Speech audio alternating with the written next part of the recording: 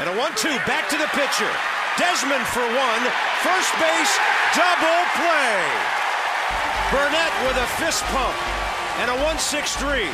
That puts this game into the bottom of the eighth inning.